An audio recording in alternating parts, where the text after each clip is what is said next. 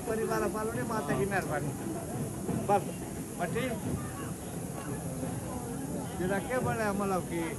आगे सुनाती के टाइम भी अरे आउना कट। बढ़िया बढ़िया बढ़िया। सारी कृपा लोड़ी कृपा लोड़ी सारी कृपा लोड़ी।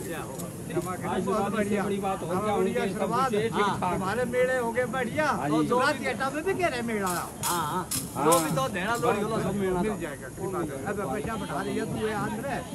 जी हाँ भी जाके न रही है। चले कुडल कितना